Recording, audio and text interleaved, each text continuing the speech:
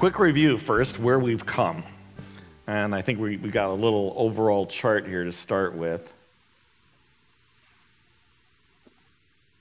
There we go. Um, we started with uh, where there's one Catholic Church, which basically means one universal church. That was the beginning. We talked about how the first 200, 250 years of the church, uh, the church grew a lot, uh, though periodically under persecution, not having official status in the Roman Empire. It grew a lot, and there were, were a number of reasons for that. We talked about how the work of the Holy Spirit was a norm during that time. Then we talked about how when the Roman emperor became a Christian and made Christianity the official religion of the empire in 313, that began to change everything in a whole lot of different ways and presented whole new challenges to the church. And one of the things that came out of that was a real decline in the movement of the Holy Spirit, or openness to the movement of the Holy Spirit, or understanding of the work of the Holy Spirit that came about over a really long time, over a number of many centuries. But there was a reduction over time of that thing. We talked about how in about the year 1000, 10, uh, 1050 or so, the church split between the Eastern Church and the Western Church, and we ended up with what was called the Roman Catholic Church, which means the Roman Universal Church, and then there was what was called the Eastern Church, or which more commonly in the United States is called the Orthodox Church.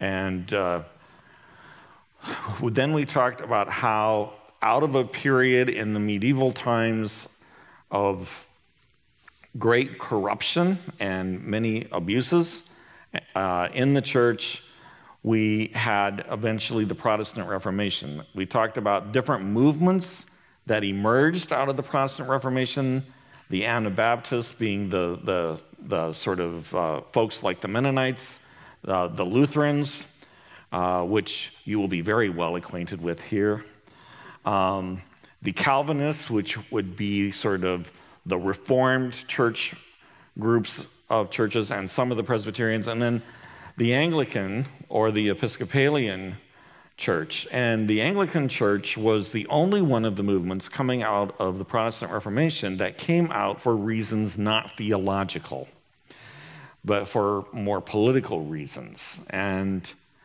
in consequence, that movement then split up in a whole bunch of different ways over a period of time. Out of that came um, significantly for our story, and I hope you can hang on to this the Quaker movement, which was unlike any of the other movements in a number of very important ways. Um, and is going to be important, come back later as being very important. Then we had the Puritans, who eventually became the Presbyterians, the Congregationalists, and the Baptists. And we talked a little bit about how among that group, as well as among the, uh, the other group, the Methodists, who also came out of Anglicanism, um, uh, new theology, a new way of understanding the Bible arose in the mid 1800s called dispensationalism, which divided the Bible up into like eight dispensations or eras or epics and kind of put it, had a very definitive view of there's this part of the Bible only applies to this period of time, and this part of the Bible only applies to that period of time, and also had a very distinct view of the role of Israel in God's cosmic plan. Uh, made Israel the center and not the church. The church is not the center, but Israel, the physical uh, nation of Israel, is the center of God's plan, according to dispensationalism. And then we talked about how out of the Methodist movement arose in the mid 1800s a new movement called the Holiness Movement, which began to introduce a new conversation into the wider church. For the first time in many centuries, they began to talk about the need for an experience with the Holy Spirit. And for them, the, the need of the experience of the Holy Spirit was so that you could be made holy. And they believed that you could have this experience with the Holy Spirit where He would render you sinless. I, I don't know how they managed to work that out with real people um, over a period of time. um, but that was kind of how what they were looking for and they they were they had the idea and this is very critical that you became a christian and that was a work of the holy spirit but then there was what they called a second work of grace or a second encounter uh, that was life changing from god from the holy spirit that would then you know bring you into a state of perfection or holiness. And so, with that, there would came this great hunger for more of the Holy Spirit. And that brings us up to the end of the 1800s. And as that century was coming to a close, there were a lot of people, and in most particularly among the holiness group of churches, um, that had an anticipation that God was about to do something big in the world as the new century began. Um, and people began praying and looking for that to happen and uh, of focusing their expectation on that. So the story tonight begins with a very obscure, small, out of the way Bible school in Topeka, Kansas, run by a man named Charles Parham. Charles Parham was a holiness preacher who became convinced that the second work of grace from the Holy Spirit was not about holiness or being made holy or being made perfect, but was about being empowered by the Holy Spirit to do signs and wonders, and most particularly to pray in a language that you hadn't learned yourself. In other words, speaking in tongues. He believed that there was this second work of the Holy Spirit um, that was possible based on his reading of the New Testament, and that the sign of this work of the Spirit would be that you would speak in tongues. But nobody had experienced it up to that point. So this was something, a new idea he was teaching. We're talking about a very small Bible school. I'm talking, you know, less than 50 students, you know, a, a group that could meet in one classroom together. And as it happened, on December 31st, 1900, New Year's Eve, his little group was gathered together, praying together, seeking what they called the baptism in the Holy Spirit. In other words, this second encounter with the Holy Spirit. And just shortly after the stroke of midnight, in the very first minutes, of what would become the 20th century, a young woman named Agnes Ozman began to speak in tongues. And then over the next several days, many others of that school had similar experiences. And what they didn't realize was that that was the beginning of the most incredible, powerful move of God in the whole history of the church. What is going to come out of that obscure location is absolutely astounding. So, tonight, our verse for the night is You will receive power when the Holy Spirit comes on you, and you will be my witnesses in Jerusalem and in all Judea and Samaria and to the ends of the earth. And sort of the theme that begins to take place in this 20th century is that the, the power of the church to be witnesses to the ends of the earth, to the resurrection of Jesus, comes back online in a very big way, in a way that has not been seen since the time of Constantine. So, what happened was, of course, uh, Charles Parham had this school. Now, the, Charles Parham was an eccentric, he was a loner, and he was a racist. And there was a black holiness preacher from Texas, a, a black man who was one eyed, who heard about what was happening at Charles Parham's school, and he asked to come and be a part of it. And his name was William Seymour. And Charles Parham wouldn't let William Seymour sit in the class with the rest of the white students. But he said, We'll open the windows and you can sit outside and listen in. And lest you feel sorry for Brother Seymour, God had the last laugh on this one. So, Brother Seymour sits out there and takes in all of this, and he becomes convinced that even though this new idea is coming from a, a despicable man, that is still true. and so he, he uh, starts talking about the same idea that there's this baptism in the Spirit that you can have, and you can have an experience with the Holy Spirit, and you'll speak in tongues, and you'll be empowered to do ministry. So he had some friends in California, in the Los Angeles area, who invited him to come and speak to them about what he was learning. So um, this took place now in 1906 that Brother Seymour went to Los Angeles. So you can see there's a little bit of gap. It's six years had gone by. So uh, it had been a couple of years before that that Brother Seymour was at Parham's school. So it was still a pretty small unknown thing. Only in sort of a few holiness circles had anybody heard any of this. So Brother Seymour goes out to visit his friends in Los Angeles, and uh, they started meeting in a house on Bonnie Brae Street, uh, which is in the city of Los Angeles. And he began talking to them about this baptism of the Holy Spirit. And within a short period of time, different ones in the group began to actually ex- have powerful experiences with the Holy Spirit and began to speak in tongues. And they also began to see other kinds of miracles. They began to see prophetic words and visions and, and healings and so forth, all started happening in, in this thing. Now, you have to remember it's 1906. Air conditioning had not been invented yet.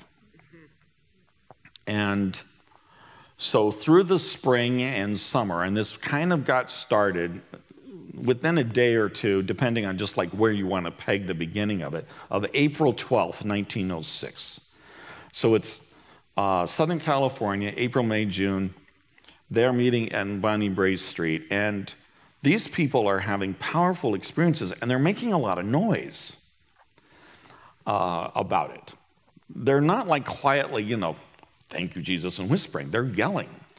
Now, for one thing, a lot of them are African Americans, and so they're expressive to start with. And it's a powerful experience. Nobody was really acquainted with this. So everybody on the street hears this tumult and they all come out to watch because what else are you going to do? There's no radio, there's no television, so, you know, if there's a fire, that's your entertainment for the week. So, you know, they're all out there on the street. Well, what proceeded to happen pretty soon was that they had huge crowds on the street in front of this house. And they began to speak to people and preach to people from the porch of the house. And people would come and stand there all day long and through the night to see what was happening, to watch what was happening, to be a part of this thing. And as people started coming, some of them for curiosity's sake, the Holy Spirit began falling on different people in the crowd, some of them before they'd even gotten up the street, as they're like coming up to find out. The Holy Spirit is falling on them before they even get to hear anything, before they've heard anything happening, you know, uh, before they even know what this is, um, they're being overwhelmed by the power of God and falling down in the streets. And um, having healings and different other things. And of course, it just spreads. And it particularly spreads among a lot of the holiness churches. And so, pretty soon, a lot of white people from the white holiness churches also started coming into this black neighborhood to see what was going on here and to be a part of it. And eventually, uh, the, the, uh, the porch of the house collapsed. and uh, and the, the, the, crowds were, be, it was becoming a kind of a, a, crowd control problem. I mean, this is people's neighborhood, you know. Um, and they found an old abandoned church that had been turned into a stable on a street called Azusa Street that would let them use, use it. And so they got this, this church, this old church building that hadn't been a church building for a while. It had, it had been a stable, and, and the man who ran the stable lived upstairs, and then there was a stable downstairs, and they made that into a, a meeting place. And uh, Brother Seymour and his family lived upstairs, and they ran the meetings downstairs. And uh, these meetings, once they got started at Azusa Street, they didn't stop until 1915. And what I mean when I say they didn't stop, I mean 24 hours a day, seven days a week. They started a meeting that lasted for nine years that never stopped. And it was just continual people coming and going, people coming and going to be a part of what happened there. And it was kind of a continuation of what had happened on the street, just incredible manifestations of the power of God. Um, as people were coming there, people began experiencing uh, healing, prophecy, words of knowledge, speaking in tongues, visions, dreams, just the whole range of all the signs and wonders that you can think of uh, from the New Testament all started happening. And this created a huge uh, response because remember, everybody's like keyed up. They're all thinking God's about to do something. And this thing happens then. And uh, then William Randolph Hearst, who ran the Los Angeles Times, or one of the big Los Angeles papers, I'm not sure I've got my name right, but it was William Randolph Hearst, got news of this. And he started running articles about, isn't this, you know, something, though, how these. Uh, uh, how these people are being carried away by their religious enthusiasm. So he meant it to be sort of negative coverage of what was happening over on Azusa Street. But, you know, the next best thing to good coverage is bad coverage. and uh, the result of his newspaper articles was even more people started coming. And many people who came to scoff or to criticize or to investigate, and journalists and whatnot, were themselves overwhelmed by God's power when they went there and turned, like in an instant, from a skeptic into a believer. And the interesting thing is, during these years, if, if you did manage to see Brother Seymour, he would usually be in prayer. Uh, he would like kneel in, on the benches, because all they had in there were benches. It was just wooden benches in the place. He would kneel behind a stack of cardboard boxes and pray. And sometimes he would put the cardboard box over his head, or if a box wasn't available, he put a paper bag over his head. And I think probably partly so he wouldn't get distracted, but also so people wouldn't be distracted by him, by the fact that he only had one eye, that, you know, whatever. He didn't want people focusing on him. He didn't want this to be about him. Um, and that's probably has something to do with why God used him. in the way that he did. And uh, so um, people started coming. Now, one of the other interesting things that happened in these meetings is that because it was in Los Angeles, there were people there coming and going from all over the world. And So people started coming very early on who were from other cities in the United States and also from other countries around the world. As they heard about this thing, they went to see it. And many of those people had similar experiences and then took them back. So, for example, there were some people who went from Chicago to Azusa Street, and you know, within a year's time, they were, there was a big Azusa Street prayer meeting happening in Chicago, and the same would be true of, of almost all the major cities across America. Uh, just spread all over the country as people were coming and getting this experience and being a part of it, and then going back where they came from. So it spread all over. And there were a couple other really amazing things about what was happening there, particularly for the time.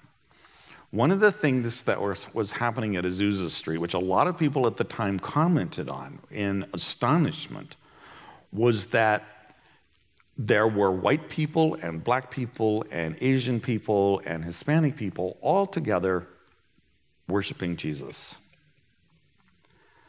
Now, you have to understand that this is Jim Crow days. This is during the days of legalized segregation. This is in the days where you couldn't drink out of the same water fountain. Um, and you know, uh, but here they were, they were all together, experiencing this outpouring from God. And a lot of people remarked on that, and it was astonishing and to some people scandalizing. And you, you can just imagine how Charles Parham felt about this. this was not what he intended. And of course, basically, he became just a, a, side note in the whole thing. Everybody was going to Azusa Street. They weren't going to Topeka, Kansas. They weren't interested in his school. And he basically spent out the rest of his days in kind of bitterness and anger that it went that way, that it all went with Brother Seymour and what he did out in Azusa Street instead of him. And the other interesting thing is that women also were equal participants in the whole thing. So a lot of times the women would be speaking and sharing equally with the men in the course of these prayer meetings and sharing prophetic words and praying for different people and sharing exhortations and writing and going to different cities and starting new prayer meetings. And this was 14 years before women in this country were allowed to vote. So when the Holy Spirit started working, he was like way ahead of everybody. Way, way ahead of everybody. Um, so that took us to uh, 1915, and that was the beginning then of the movement that we would call Pentecostalism.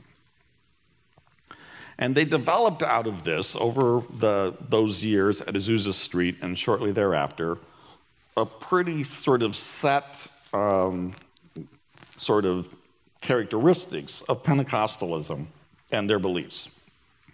Number one, that there's a second work of grace called baptism of the Holy Spirit, which brings to us the power of the Spirit.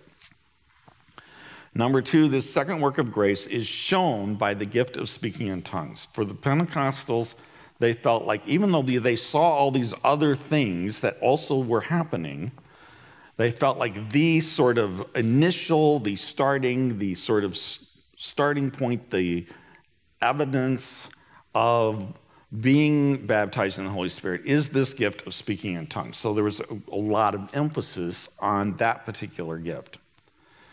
Number three, they taught this second work of grace should also result in a holy life expressed in classic holiness movement terms. So they didn't completely let go of that part of the holiness movement, um, but it became more secondary. But they did still kind of have a holiness movement mentality in that they were looking to live holy lives and they pretty much the way they expressed that holy living was expressed in very outward terms, in terms of what was considered holy or worldly at the time. So, smoking of cigarettes, drinking of alcohol, attendance at movies, attendance at dances were all things that were considered sinful and not holy. Those were worldly pursuits.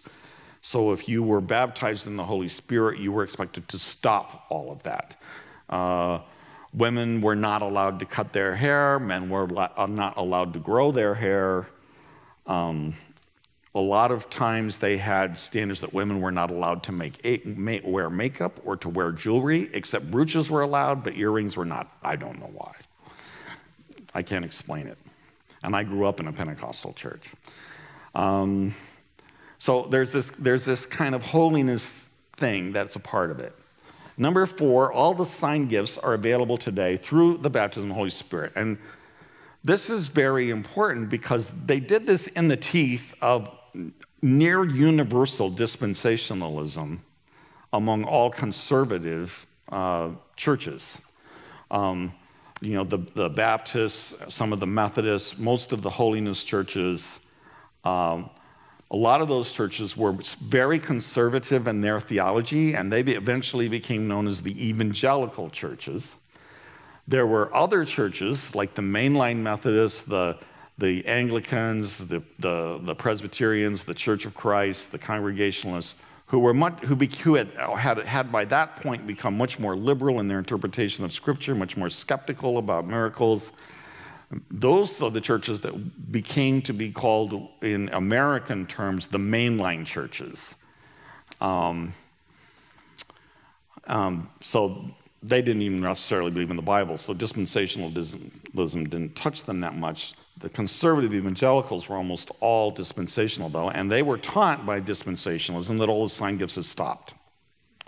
So the Pentecostals are the first, for the first time in 1500 years, are emphasizing that the sign gifts are available through the baptism of the Holy Spirit and an important way, an important tool for how the church is actually supposed to reach the world and bring the world to Christ. Oddly enough, with the exception of that, the Pentecostalism fully embraced all the rest of the tenets of dispensationalism. So if you go to a Pentecostal church today, say an Assemblies of God church, they are completely dispensational, except for the point about the sign gifts ceasing. Uh, so they still have all the dispensations. They, they still lay it all out the same way. They still believe in a pre tribulation secret rapture, followed by a seven year tribulation, followed by a second second coming. Okay, the two second coming, the second second coming of Jesus, followed by the millennium, and so forth. Um, now, the Pentecostal church had phenomenal growth. Um, it spread unbelievably fast. It split almost every uh, holiness denomination in existence. The denominations just split right down the middle. Although some of the holiness groups went lock, stock, and barrel over to Pentecostalism, most, but a lot of them split. So all your like Church of God's, uh, you know, Church of God in Christ, uh, Nazarene churches, Assemblies of God, all of those, most of those are holiness churches, and some of them became Pentecostal. Um, they spread all over the world very quickly, uh, partly because they would be in these prayer meetings and they would be experiencing the power of the Spirit, and people were experiencing supernatural calls to go to different places in the world to bring the message of Jesus and the message of the Holy Spirit. So, you know, there was, there was a, a couple of women actually who attended the, uh, the sort of Azusa style prayer meeting in Chicago who, in the prayer meeting, felt like God was calling them to go to a place called Para, P A R A. And they had never heard of such a place. Uh, so they went to the Chicago Public Library and looked it up and discovered that it was a region in Brazil, in uh, northern Brazil. There's a particular region in Brazil that's called Para. And, and uh, so as they continued to pray about this, feeling this call to go to Para, they felt like God eventually told them, go to New York City, go, to, uh, go on a certain day and a certain time, go to thus and so intersection. Somebody will meet you there with the money you need to get a one way steamer ticket to Para. So they did, and it happened just as predicted. Somebody says, Are you the two ladies who are supposed to go to Para? And they said, Yes, we are. Here you go. and they went off to Para, Brazil. And, you know, 50 years later, there were a thousand Pentecostal churches in Para, Brazil. And that story was repeated thousands and thousands and thousands of times. Uh, uh, so it, it just went everywhere. Um, by about 1914, um, they began to feel that a great need to, you know, bring some order to this movement because it was utterly chaotic. It was, I don't know if like how to describe. It, it's just like utterly chaotic. It's just like all kinds of people going around like chickens with their heads cut off you know, doing this and that, whatever they feel the Holy Spirit's leading them to do. There's no organization, there's no consistency. Um, you know, they're still trying to get their theology sorted out. They're still trying to understand what's happening here. They, they didn't have established leadership. You know, and you can just imagine, you know, what's coming out of this, you know, rival prayer meetings and this and that. And so they started coalescing into different denominations. And it was in 1914 that a fairly large group of leaders from the Pentecostal movement met in Hot Springs, Arkansas, and formed the Assemblies of God. And that was probably the biggest, that was, would have been one of the bigger Pentecostal denominations. There were others like the Church of God and, and Church of God in Christ. Now, when they started doing this, that is when they split on racial lines. So when they got to uh, Hot Springs, there were leaders from the African American community who were there at the meeting. But when it got time to organize everything, they were totally excluded. They weren't allowed to play a part, even though the whole thing started with them. And so they ended up in their own separate denomination, Church of God in Christ. And it was nearly a century before there was any kind of apology or reconciliation between the two groups.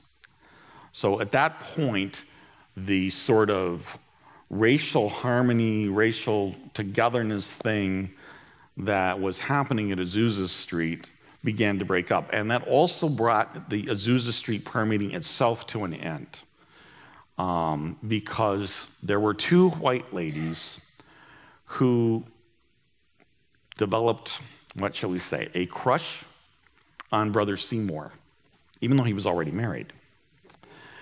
And this became known and it became a scandal um, that uh, two white women might want to be involved with an African American man, even though I don't think there was ever any credible evidence of scandalous behavior on Brother Seymour's part, but it really shook him and divided the movement on racial lines. People started taking sides about that, and that pretty much killed the Azusa Street mission, at least the prayer meeting there at that time. So it was sort of one of those situations where the movement of the Spirit was ahead of what ultimately the country was willing to accept. And uh, it's, it's one of the tragedies, actually, of Pentecostalism. We came so close to saving this nation, so much pain, and missed it. And the church could have been in the lead, and we missed it. Um, and I don't know. What can you say? So, um, skip ahead a little bit. Then, about 40 years later, um, Pentecostalism um, had a major crisis within it, and in particular in the Assemblies of God, which was the, the uh, largest Pentecostal denomination. Um, and they developed a, a, sort of new idea or a further idea of the basic Pentecostal theology that um, called restorationism, or sometimes called the Latter day Rain movement. And um, it basically split the movement down the end and down the middle. And let me just say a little bit about this. Restorationism began around 1948 in the mid 40s, and they believed that number one, God will restore the church to its original power and purity through the work of recognized apostles and prophets. So, whereas it was at Azusa Street, it was speaking in tongues and the recovery and experience with the Holy Spirit Restorationism says, no, that's not enough. You need to have people, you need to restore the offices of apostle and prophet in the church. And the apostles and the prophets will be the ones who bring the church back to the power and the glory and the purity that, rep- that we see represented in the book of Acts which is kind of a selective reading of the book of Acts because when you look at the book of Acts, they're not all that unified and they're not all that pure and they're not always that powerful.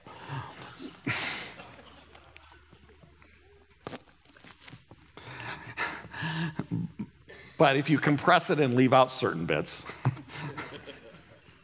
you can have that conclusion. They believe, number two, that the restoration of the church depends on the rise of, in particular, very powerful apostles and prophets. So you start looking for superstars. You're, it, it's, it's, it's like it, it's all dependent on the rise of these superstars. It's come a long ways from the day when Brother Seymour has got his head under, under a, a box so nobody will look at him. And now it's all about we're looking for the super apostles and the super prophets. They believe, number three, that this restoration will lead to a great last days revival in which millions of people spontaneously come to faith through great works of power done by the apostles and prophets. So they're, they're, they're looking for this final great revival of spontaneous evangelism where there's so much power in the church that people just see this power and they're all converted. And I think it's kind of interesting because it's an interesting theory because all I can say is the Pharisees saw Lazarus walk out of the tomb and went home and plotted how to kill Jesus. um, so it's not an automatic um, by any means. They believed then that this great revival would immediately precede the second coming of Christ. So if you could get these get enough power in the church and get these apostles and prophets to a certain place and stage with enough power in the church, you could uh, trigger this great revival and bring about the second coming of Christ. And the way they propose to do that is continual day and night prayer, which is necessary for this restoration to happen. 24 hours, day and night prayer is the deal. So 24 hour prayer was, of course, not entirely new. That's what was happening at Azusa Street for the first six years. But it's got a whole new reason for happening now. And you'll probably, as you go through this list, realize this sounds a little familiar, perhaps, to some of you who've been around. This might sound a little familiar to you, this restoration thing.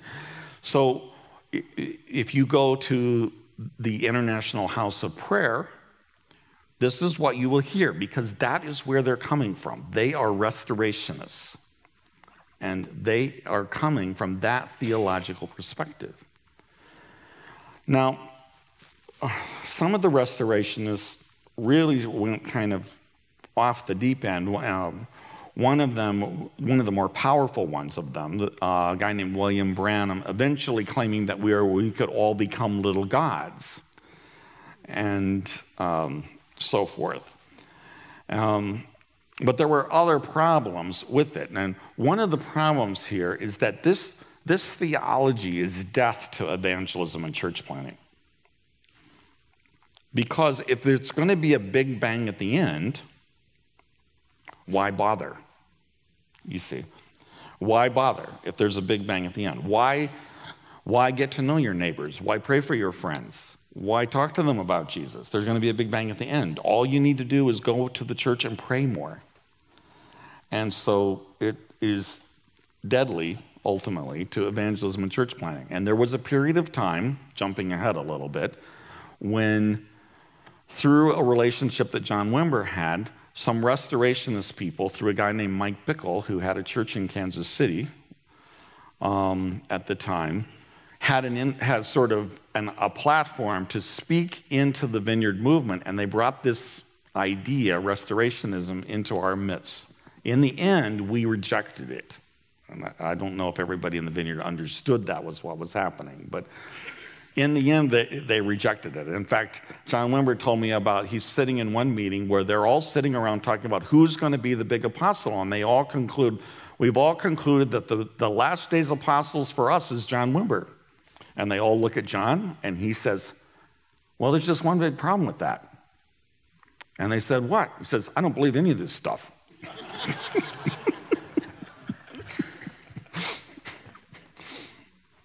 he never believed any of it. Um, John Wimber was about everybody gets to play, which was a Quaker idea that the Holy Spirit's in everybody. His idea was no, to take the ministry of the Holy Spirit and give it out to common people, to get away from the superstar thing and make it everybody's. It was the exact opposite impulse of restorationism. Um, so, um, interestingly, when this happened uh, in the Assemblies of God, it split the Assemblies of God. They, in, they had about 1,200 churches before the split. And in the split, about 600 churches went with the Restorationists, and about 600 churches stayed with the Assemblies of God. And uh, the 600 churches who went with the Restorationists focused basically on meet, meetings and conferences where they were praying and looking for these tremendous works of power, for this outpouring of the Holy Spirit that would sort of be a part of triggering this great big bang at the end. And they had very powerful meetings and saw tremendous miracles. Um, some of them just almost unbelievable. In fact, just between you and me, I don't believe all of them. Nevertheless, there were lots of real, genuine miracles that were in their midst. They, they did uh, function very, very powerfully and had extremely powerful meetings. But as I already said, evangelism and church planting stopped dead cold. The Assemblies of God backed away from that emphasis on powerful meetings and works of power and began to focus more decidedly, more focusedly on doing evangelism and church planting. And they still believed in the baptism of the Holy Spirit. They still taught that. They, they still had camp meetings. People still had experiences with the Holy Spirit. But it wasn't their main agenda. Their main agenda was to do missions and to plant churches. And they planted churches in the United States and they started missions in almost every other country of the world. And if you fast forward to today, the Assemblies of God has over 12,000 churches in the United States alone. They went from 600 to 12,000. They have 3 million members in the United States and 67 million members overseas in the Assemblies of God. Meanwhile, the Restorationist churches eventually started calling themselves the Elim Pentecostal churches. And today, there are about 500 Elim Pentecostal churches who actually, in point of fact, no longer even have the powerful meetings that they had back in the 40s and 50s because their children didn't react to it in the same way. And I simply ask, which is better?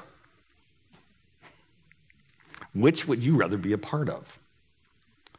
Now, see, the restorationists will tell you that it's all about just the power works. that the, the sign things alone are going to do it all. That's one of their fallacies. And, but it, it's not borne out in actual practice. In fact, it works just the opposite. And there's a lot of restorationism still out and about in sort of the general charismatic uh, Pentecostal world, even now. And it's kind of important to be aware of where they're coming from and why, and what their history is. Um, so that was in the 40s and 50s. But in 1960, something happened that nobody expected, except God. Again.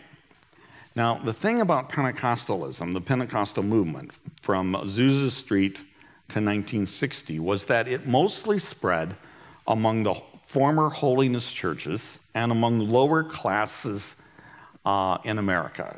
Uh, people who were not as well educated, people who were not as wealthy. It was mostly made up of those groups of people, uh, not working class kind of people. Um, lots of African Americans from underclass, definitely at that point of time. You know, were Pentecostals. So that was that characterized the Pentecostal movement, and most of America treated the Pentecostal movement as sort of uh, a little bit of a carnival sideshow off in sort of the wider world of the church. Uh, look at the strange things those people from the wrong side of the tracks are doing. And um, it had really no impact among your mainline churches, your, your Episcopal or Methodist or Congregationalist churches, and it also had no impact among conservative evangelical churches, your Baptists and so forth. Uh, didn't touch them at all. And for the mainline churches, it was more because of a class thing. They just felt like this is beneath our dignity. These people, you know, roll around in the aisles. In fact, they called them holy rollers because they literally rolled. And, you know, it's kind of interesting to me because I can remember one point in our church, we had one guy in our church who was very dignified, and nothing ever happened to him when people prayed for him. He was one of those guys, you know, you can get your best people, they all pray for him, and he stands there like a rock and feels nothing, experiences nothing, nothing ever happens to him. Except one Sunday in the worship, the guy got zapped by the Holy Spirit, and he was literally rolling down our aisle. And I thought, there it is, we're holy rollers. And it's the one guy that everybody least expected.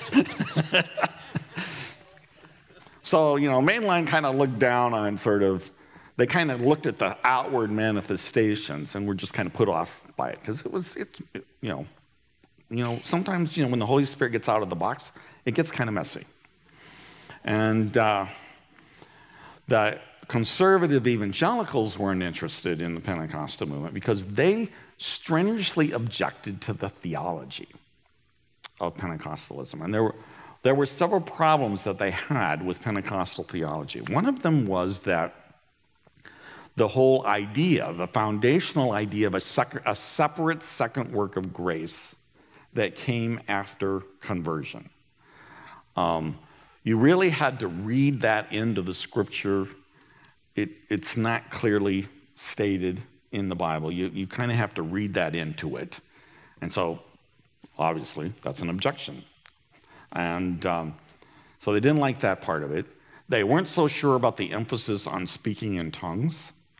Um, that felt particularly controversial and um, really objected to that. They didn't quite understand why that should be important as opposed to all the other things. And there was, an, uh, uh, there was another theological problem that Pentecostal had that, in particular, evangelical, uh, conservative evangelicals were tuned into, and that was that the Pentecostals tied works like healing, they only understood to tie that to this experience of baptism of the Holy Spirit and the operation of faith. That you had to experience the baptism of the Holy Spirit and you had to have faith to be healed. And that healing came out of faith and kind of faith primarily. Which, if you take it to its logical conclusion, then you end up in kind of the health, wealth, and prosperity kind of group of people who say, well, if you just have enough faith, you can be, always be healed. They didn't have an answer for what happens when you're not. What happens when you're not healed? They couldn't answer, their theology couldn't answer that question. And so that was a big tripping point. And so it never really touched the conservative evangelicals. So it was something that worked among the holiness movement people and the uh, lower classes of America. But in 1960, there was an Episcopalian priest named Dennis Bennett who, interestingly, was pastoring a church not 20 miles from Azusa Street in Van Nuys, Van Nuys, California. Now, I'm not sure, I'm not sure how tuned in you guys are to this, but the Episcopalian Church represents the sort of snobby upper crust of America, or at least it used to, until Dennis Bennett messed it all up. But um, they used to kind of represent that. So if you go back, like the list of all the presidents of America and what, what church they were from, there's an awful lot of Episcopalians in that list. You know, if you wanted to be dignified and rub shoulders with other rich people like yourself and sophisticated and educated people, you went to the Episcopalian church who had, you know, you know, their smells and their bells and their rituals, but it was very predictable and nothing funny, no funny business ever went on. And so this is who Dennis Bennett is. And he had a group in his church who were getting together, um, uh, studying spiritual growth. And he had gotten a hold of a book by an Assemblies of God pastor, a Pentecostal pastor named David Wilkerson, called Cross and the Switchblade, which is about how God used him to minister to, uh, at that time, mostly Puerto Rican gangs and addicts in New York City during the 50s. And in this book, there's a whole chapter on baptism in the Holy Spirit and how that changes your life. And Dennis Bennett was intrigued by this and began thinking about this. And so, um, what happened was on Easter Sunday, 1960, Dennis Bennett stood up in his proper Anglican, dignified Episcopalian church and announced that he had been baptized in the Holy Spirit and was speaking in tongues. Whereupon they fired him. they weren't going to have any of that in their church. But that left the Episcopalian church with a problem because, of course, you know, they have an Episcopalian system. And, you know, we've got this priest, where are we going to put him? And the bishop says, What am I going to do with this guy? And so there was this dying almost dead eh, Episcopal church up in Seattle called St. Luke's. And so they all got together and they agreed, okay, we'll send him up there. He can't harm anybody, he won't make any trouble up there. So they send him up to St. Luke's, and he goes up there, and people, the few people left there, start experiencing the baptism of the Holy Spirit. They start experiencing the Holy Spirit for the first time. Their faith is revitalized. For many of them, it was like meeting Jesus for the first time. And the church starts growing like crazy. All of a sudden, their little dying parish is the biggest parish in the diocese. And people are flooding in, and they can't fit all the people in the doors because people start coming. So he writes this book called Nine O'Clock in the Morning reporting his story and his experience, and how when they embraced this work of the Holy Spirit, their little dying church was suddenly revitalized and began to grow. And one of the things about that is the 50s were over, we're in the 60s, and people stopped going to church because you're supposed to. So a lot of churches are dying. And so if somebody finds a way to avoid that, Like, that's very interesting. So this book just goes crazy. Everybody starts buying it. And all kinds of Episcopalians and then Congregationalists and Methodists and Lutherans all start getting into the act. They all think, well, if the Episcopalians can do it, we can too. It must be dignified now. And so all of a sudden, you've got you know, the Episcopal Renewal Service and the Lutheran Renewal Service, and they're all, they start doing these conferences, and people are getting together, and they're experiencing the Holy Spirit, and people are speaking in tongues. It's like Azusa Street all over again. And so, uh, that, and that's mostly among mainline churches. But the Baptists and the other conservative evangelicals, they're not having any of it. First of all, it's from an Episcopalian we're not even sure they're Christians. You know, let alone, you know, doing this other stuff. You know, so not the conservative, it didn't touch them at all. They were not at all interested. But a lot of the mainline churches had big chunks of their people and their leaders who were interested and who were impacted. And that basically became known as the charismatic movement. They, they had to make up a new name for it because they couldn't be Pentecostals, because Pentecostal meant wrong side of the tracks. So they took a Greek word that means gifts and made it charismatic and called it the charismatic movement, and so that makes it okay. It was classic marketing strategy. And so that's how we got what is now called the charismatic movement. But it's really Pentecostalism, but heading a new group of people under a new label. And later on, when sociologists started writing about this, they said, okay, Azusa Street and that immediate aftermath, that's the first wave of the Spirit coming to the church. And the charismatic movement hitting the mainline churches and all those guys, that's the second wave. Then everybody was in for another big surprise. Because Dennis Bennett's book, and also Cross and the Switchblade, David Wilkerson's book, had made its way into the hands of some students at a Catholic university, at Duquesne University. Roman Catholics were reading this book.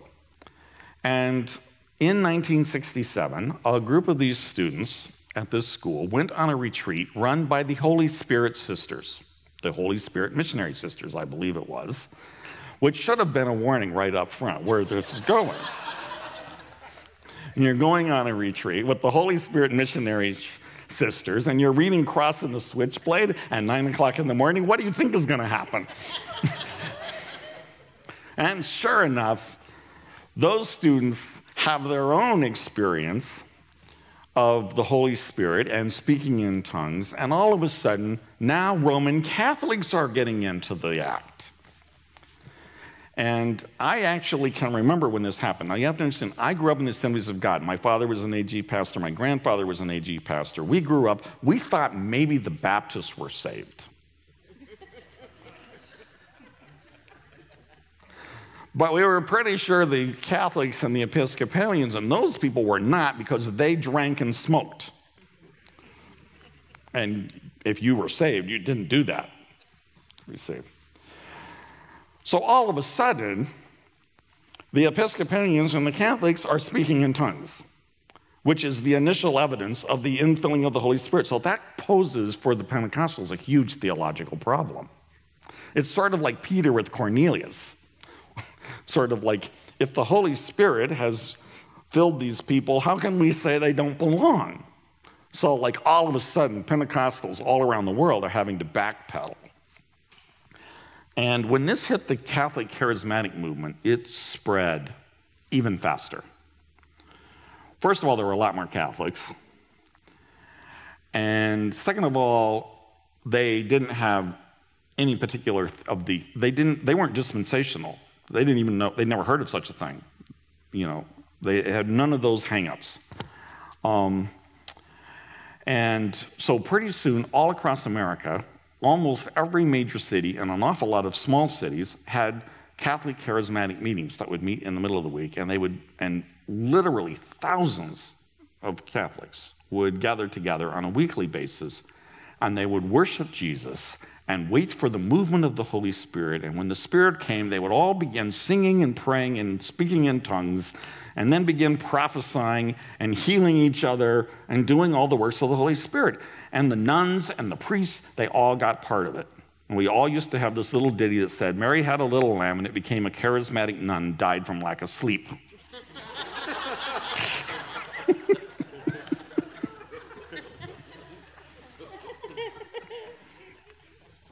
And there was a really big one in Minneapolis that I used to go to as a college student. And it was electric. It was just electric. I, I mean, you just can't imagine because the ear are all all these people who've been dutiful Catholics all their lives, just doing the thing, not ever having an experience of their own, thinking that this kind of stuff only happened to saints And all of a sudden, it's happening to their brother and their sister and their neighbor and, you know, the mechanic and ordinary people. And by 1970, okay, so we're talking a span of three years. Three years. By 1970, they were having their annual international gathering of the Catholic Charismatic Renewal in St. Peter's in Rome.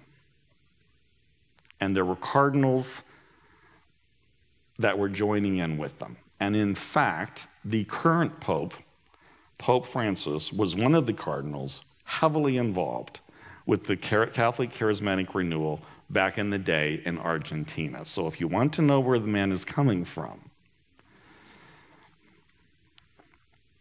He's coming out of this renewal that God began in 1967. And of course, then what happened was the Orthodox, who have been kind of watching all this from afar, when the Catholics started doing this, decided, well, if the Catholics can do it, then we can do it too. And so all of a sudden, there's even Orthodox people who basically haven't changed much of anything in 1,500 years. I mean, they're, they make the Catholics look Protestant. okay. In, I mean, like, you haven't seen liturgy if you've only gone to a Catholic church. You know, they make them look Protestant. They are doing the same thing worshiping Jesus and waiting for the movement of the Holy Spirit. And when He comes, they're speaking in tongues and they're doing miracles and healing the sick and casting out demons and the whole thing. One of my great experiences in my life was being there with a Coptic Orthodox priest in Garbage City in Cairo, Egypt, as he cast a demon out in front of a congregation of 2,000 people, most of them converted from Islam which they let him do because they were the poorest of the poor that nobody cared about. Um, so, what that meant is that now the whole run of the church, of the whole church universal, has been touched by what happened at Azusa Street, except the Baptists and the conservative evangelicals who are treating it like, you know, it's Dracula. But then came the Jesus movement, right on the tail end, right, right after the charismatic movement and the, and the Roman Catholics. And the Jesus movement, interestingly, was made up of people coming from both sides of this thing um, the classic Pentecostals and some of the charismatic people. And again, it happened in Los Angeles. It's, that's where it started, in Los Angeles. Um, there was a guy named Chuck Smith who was leading what was then a, a, a Pentecostal church at the time, a classic Pentecostal church but who had already been somewhat influenced by the charismatic movement. And there were some other people who had been influenced by the charismatic movement. And they all of a sudden realized we can take this thing to the hippies, who were now emerging as a force in America.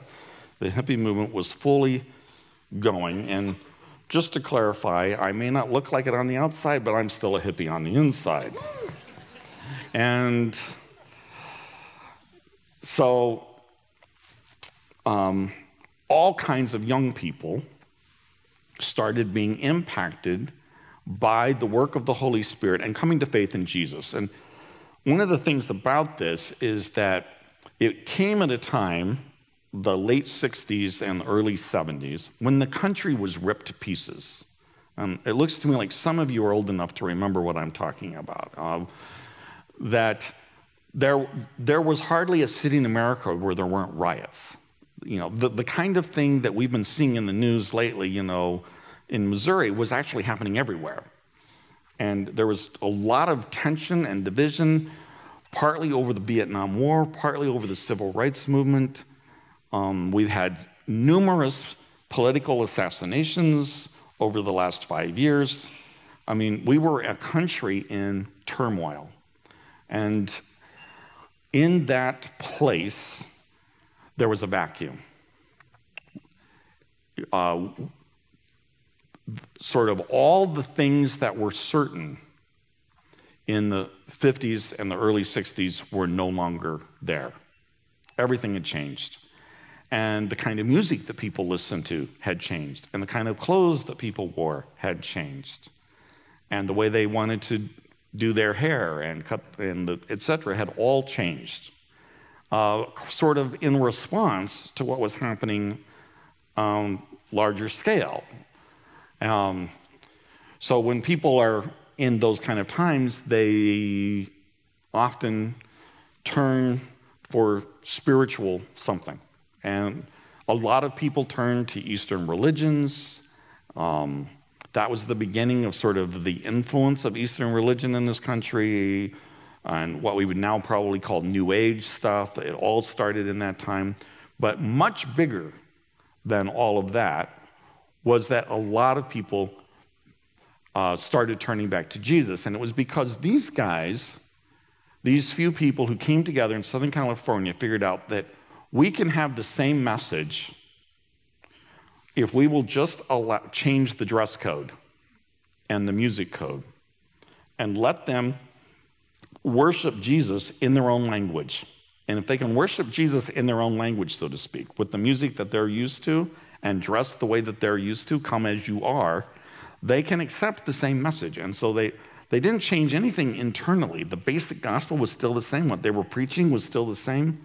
The way that they were looking to the Holy Spirit was the same as it was in Pentecostalism or, or the charismatic movement. But all of a sudden, instead of everybody getting dressed up to go to church, they came in their sandals.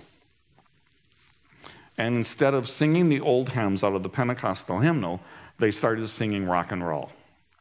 And in the beginning, they just took rock and roll tunes and put them to the Psalms. We just, the first few years of the Jesus movement, we just sang the Bible. Um, you know, there, we have, they weren't like making up a whole lot of other songs at first. It was just like sing the Bible, and but do it with rock and roll, or what, what we would now call folk rock. You know, uh, well, that's what my African American friends they call it folk music. Um, and that was revolutionary. And literally within about five years, probably about 2 million young people under the age of 30 came to faith across the country. And thousands upon thousands of new churches were started. The one I'm leading is one of those churches that were started in the Jesus movement. Um, so, one of the people who got involved with the Jesus movement two, there are two people actually that are important. One of them is a guy named Ken Gulliksen, and he was one of the first pastors really to be significantly involved with the Jesus movement. Ken Gulliksen is his name. And he started a church in Hollywood uh, in uh, 1975. So, towards the end of that, he had been involved with Calvary Chapel, which is what the main group that had initiated uh, the Jesus movement stuff in Southern California, although it quickly spread everywhere. And um, it was in his church that Keith Green came to faith in Christ. It was in his church that Bob Dylan either came to Christ or didn't, or whatever happened to Bob Dylan. Um, um, you know, so, but that got a lot of attention.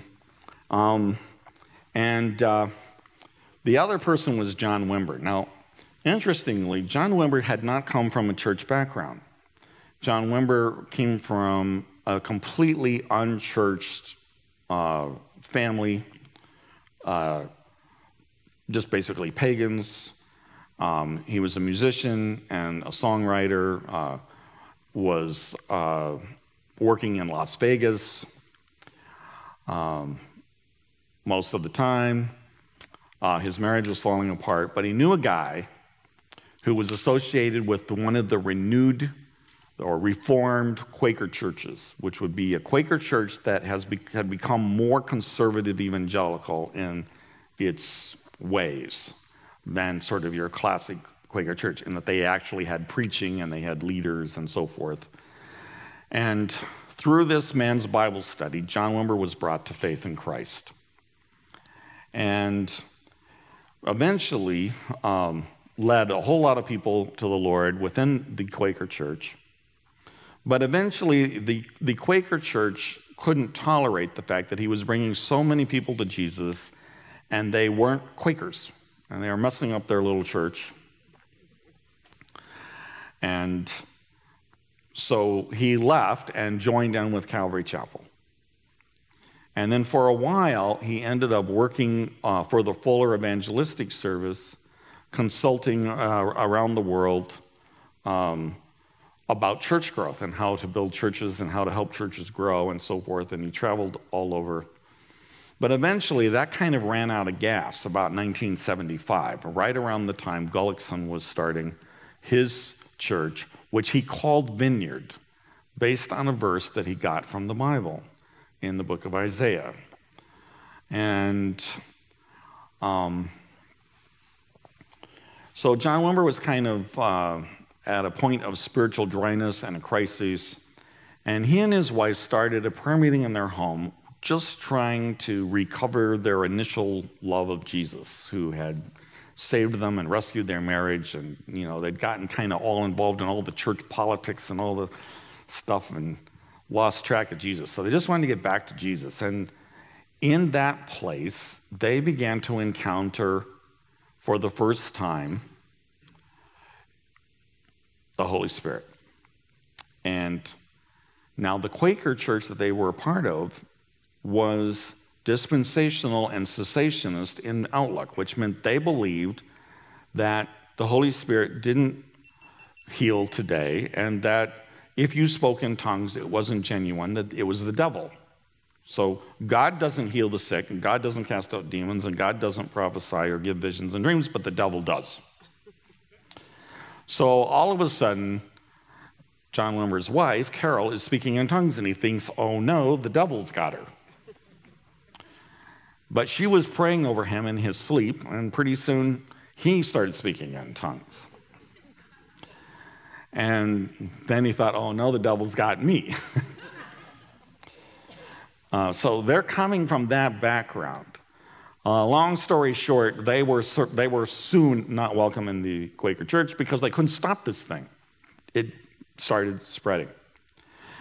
And so at that point, they found a safe haven with Calvary Chapel the Jesus movement. So, what happens there is they take Quakerism.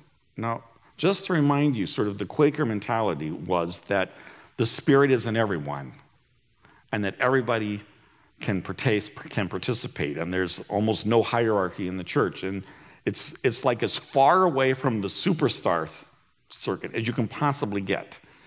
And um, so they bring that, and then they have this other thing from the charismatic, you know, Jesus movement thing, and they bring it together. And they start, they start a new church in uh, 1977, another Calvary Chapel in Anaheim, California.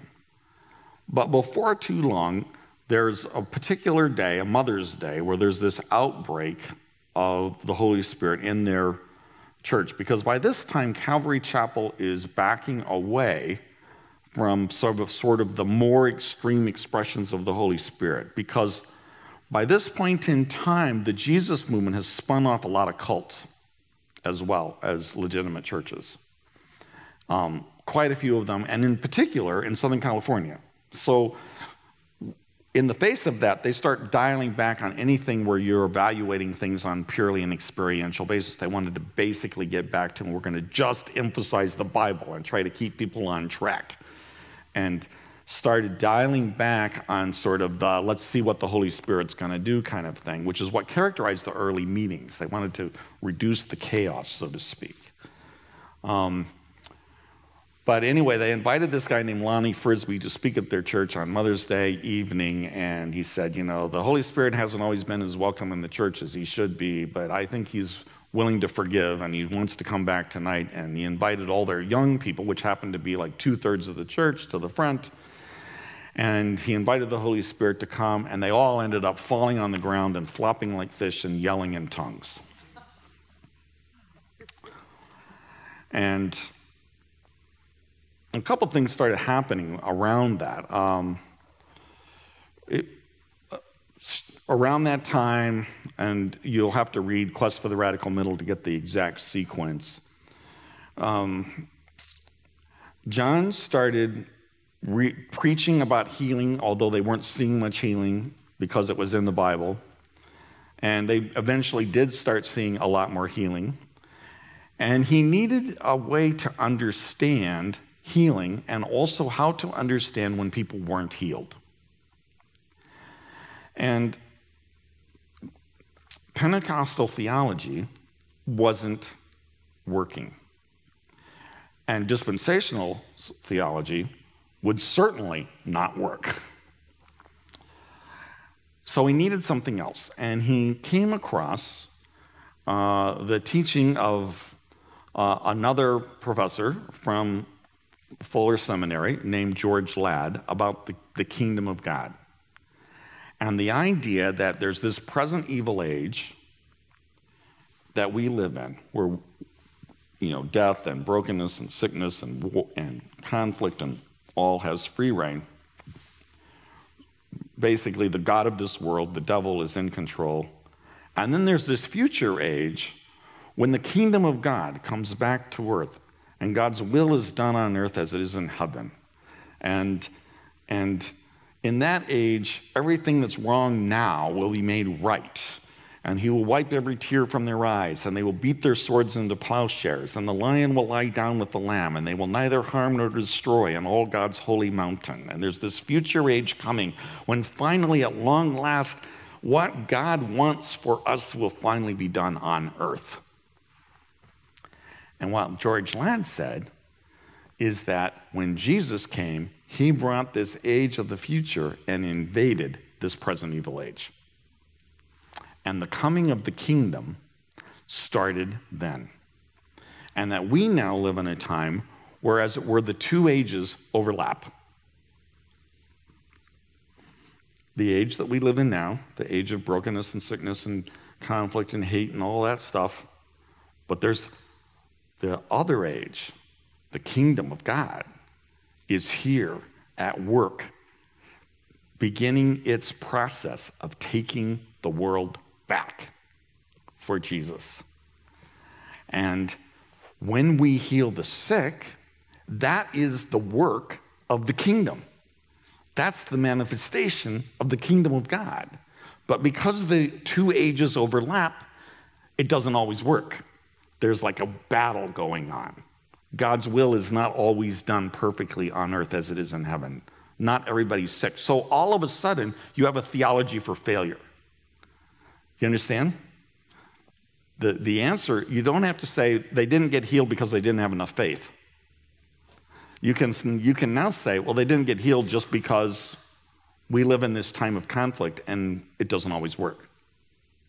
But, the, but God is here and He is working, and a lot of people do get healed, just not always, not all of them, because it's not fully here.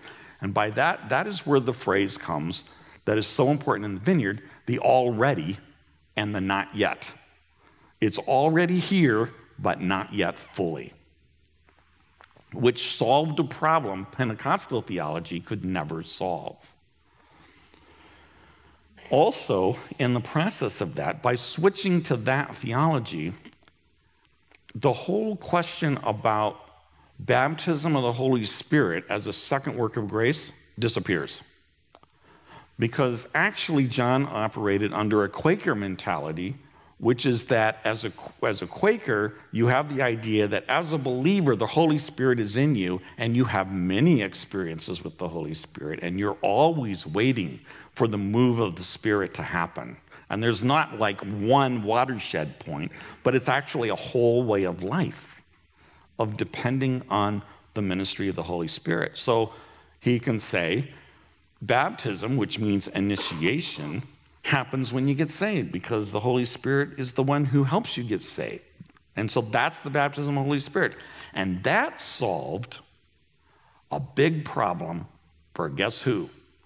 The Baptists and the conservative evangelicals because two of the biggest barriers to them opening up to the work of the Holy Spirit, the barrier about the faith question and the barrier about the second work of grace, baptism of the Holy Spirit, are resolved by switching to a completely different theological system, um, the kingdom of God theology. So, what started happening then is John started teaching a class at Fuller Seminary called Signs and Wonders and Church Growth which articulated this theology and connected the ministry of the Holy Spirit and signs and wonders to that theology, which had never happened before. And out of that, then, came the vineyard movement and also the opening of the whole conservative wing of the church to the movement of the Holy Spirit. So when John Wimber started teaching this class and started ministering, all of a sudden, Baptists and E Free and other conservative evangelicals from all over the country all of a sudden began to be a part of experiencing what started at Azusa Street. And they called that the third wave of the Holy Spirit. So, uh, Vineyard started as a movement in 1977 with um, John's church. Initially, it was a Calvary Chapel. I won't go into the story about how it became a vineyard, uh, except to say that eventually John's new emphasis and the theology posed a problem for Calvary Chapel because Calvary Chapel is dispensational in theology. And they understood these aren't going to fit together. And they said, you need to go somewhere else. And they suggested, why don't you go join in with this guy Gulliksen over here, who's got three churches, and join in with him. I think you'll fit well with him. And so they met together, and Gulliksen said, Sure, go ahead and be a part of it. And while you're at it, why don't you just lead us? and so um, that's how it became the Vineyard Movement, because we took the name started by Ken Gulliksen when John Wimber's church joined in with them. And when he did, a whole bunch of Calvary chapels who'd been influenced by John Wimber also came and became a part of it and joined in with it. And that started the Vineyard movement. But uh, because of the impact that John had on a whole lot of conservative evangelicals and the fact that they were now being a part of this and coming to, that's where many of our vineyard pastors came from. So, our current vineyard pastors a, huge proportion of them, not all of them by any means, but a big proportion of them came out of conservative evangelical backgrounds, Baptist backgrounds. And when they heard this theology, that we could have the Holy Spirit with a theology that has integrity with the Bible, they said, I want in. This is what I've been waiting for my whole life. And that gave rise to the vineyard. So, characteristics of the vineyard kingdom of God theology, not dispensational which is very important to understand in the whole flow of where we fit. Number two, and I alluded to this last night, worship and preaching equally important. So we straddle in that the Catholic Protestant divide. Number three, scripture and spirit are both important. Again, straddling the Catholic Protestant divide. Number four, mind and spirit, both important. Same story. mysticism and teaching equal. So we, we're, we're like, you'll see in the vineyard all kinds of people doing spiritual retreats and meditation and, you know, like Ignatian exercises and spiritual direction and all that kind of stuff. And at the same time, quoting Spurgeon and other classic, um, you know, uh, conservative evangelical preachers and you know doing the work of the mind and thinking about theology and how do you work that out and how does it mean and doing it together um, uh, one of the classics of vineyard is the idea that it's kind of like having two arms that life just works better with both of them rather than choosing one over the other um, physical and philosophical approaches to spirituality are equal so you know if you if there's a certain kind of physicality to a lot of what we do in our ministry. We're, we're praying over people and touching them. It's very physical, sensing kind of experience. And, and our worship, what's part of what's unique about our worship, I don't know if you understand this, is that when we worship, we expect to experience something. You see, this uh, reminds me of uh, this one time, this other church, I think I forget who they were. They were a conservative evangelical church in our area. They came to us and they said, We want your worship. So my worship leader, my worship pastor said, Okay, here you go. Here's all the songs. Here's the sheets. Here's the leads. Here's the, here's the notes. You know, here's, here, here's the words. Take it. So I took it all. And they came back a couple months later and said, Why doesn't it work for us the same way as you? And he says, Oh, because it's not the music. It's not the music. And they said, What is it? And he says, Oh, well, we expect the Holy Spirit to be at work when we worship and expect to experience Him while we're worshiping. And it's that openness and that expectation to the Holy Spirit that makes it work. You see? So, you know, for us, those go together. Um, number six, power through empowerings, not one second work of grace. So in the vineyard, our deal is you know, like you, you have many experiences with the Holy Spirit. You know, um, hopefully as many as you need. um, and that uh, you might need repeat fillings of the Holy Spirit because, of course, we all leak. Um, it, it's sort of, we're not, there's not this emphasis on one sort of experience that sort of divides this group from that group but it's more like we're all on a journey of trying to learn to live in partnership with the Holy Spirit, who is a person and who lives in us and with us and through us. You know, and that's what we're doing. Um, uh, so that's what we're looking for. And so, in that sense, we're not Pentecostals. So, people say, Are you a Pentecostal group? The answer is, Well, not really. If they say, Are you an evangelical group? Well, the answer is, Well, not really. Are you a Catholic group? Not really. Are you a Protestant? Well, sort of, but not. Are you Quaker? Well, sort of, but not. you, you see the picture? All right. Seven, baptism of the Holy Spirit is what happens at salvation. Eight, salvation is both personal and communal. Number nine, this is really important. Kingdom work is not just personal salvation, but also restoration of life and justice in society. Uh,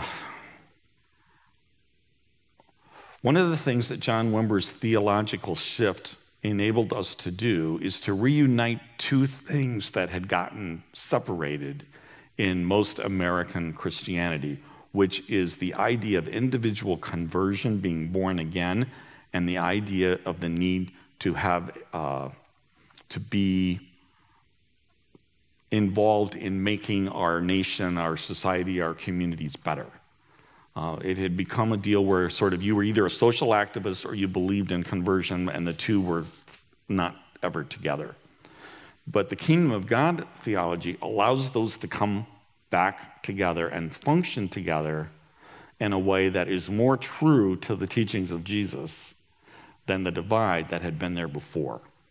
So for us, kingdom of God work is not even just salvation and it's not just healing it's not just signs and wonders in that classic sense, but also restoration of life and justice in society. So when we are over here giving out food to the hungry, we are doing the work of the kingdom. Just as surely as when we're in here laying hands on the sick, we are doing the work of the kingdom. Okay. Okay, so Vineyard movement comes along, the Baptist conservative evangelicals become a part of all that, and that becomes the third wave of what began at Azusa Street. And again, this starts in the Los Angeles area. So you see, there's three major waves, and they all, and if you count the Jesus movement, four major waves, all starting in Southern California. It's sort of like God says, I'm going to see if anybody notices. Let's play a game of, you know, is God at work? And see if anybody notices. And so, um, what happened there finally with the coming of John Wimber and the Vineyard Movement was that the last holdouts, as it were, of the Church Universal to what started at Azusa Street finally got to be a part of it. And that means in one century, one century, we went from Agnes Ozman in Topeka, Kansas, to every single corner of the Church of Jesus, rediscovering the presence and the power of the Holy Spirit and the work of the kingdom of God in a whole new way. And at this point in time, their best estimates that if you put them all together, there are something like 500 million Pentecostals, charismatics, and third wave people who are, you know, participating in this work of the Holy Spirit all over the world. That is one quarter of the entire uh, church, all the people who claim to be followers of Jesus. And that is where we came from.